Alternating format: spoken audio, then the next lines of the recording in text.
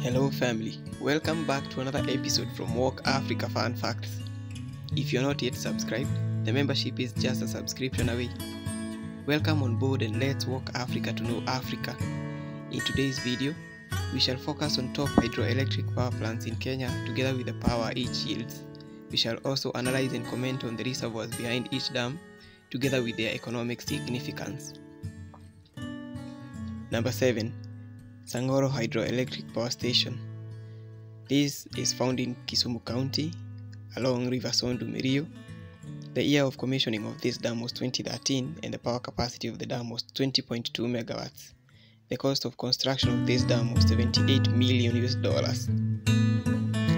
Number 6. Masinga Hydroelectric Power Station. This station is found in Embu, Machakos counties and the river is Tana. The year of commissioning of this dam was 1981. The power capacity of the dam is 40 megawatts. The cost of construction of this dam was 172 million US dollars. Masinga Reservoir holds water for other hydroelectric power stations downstream of Tana River. She is a member of the seven Fork dams of Kenya. Number 5. Kindaruma Hydroelectric Power Station. This is found in Embu Kitui counties and the river is Tana. The year of commissioning of this dam was 1968 and a recent upgrade in 2012. The power capacity of this dam is 72 megawatts. She is also a member of the second Fork Dam of Kenya. Number 4. Kamburu Power Station. She is found in Embu Kitui counties and the river is Tana. She was commissioned in 1974 with a uh, power capacity of 93 megawatts. She cost Kenya 47 million US dollars to construct. She is also a member of the Seven Fork Dams of Kenya. Number 3. The Turkwel Power Station. This is found in West Pokot County along River Turkwel. She was commissioned in 1981 with a power capacity of 106 megawatts. Other purposes of this dam include fishing and irrigation activities.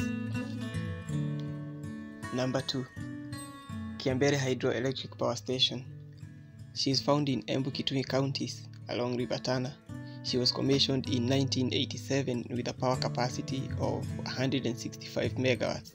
She cost Kenya 95 million US dollars to construct. Kiambere is also a member of the Seven Fork Dam system of Kenya.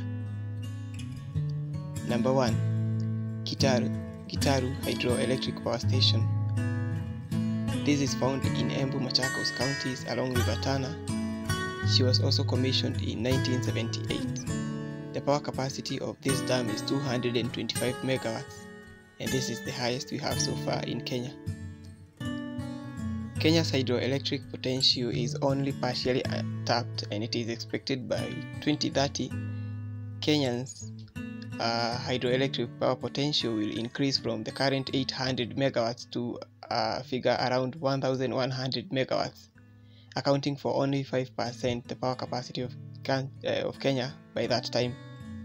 Kenya is also continuously prospecting for renewable energy. That is it for today. We take a bite of our continent a day at a time. Be sure to subscribe for more updates.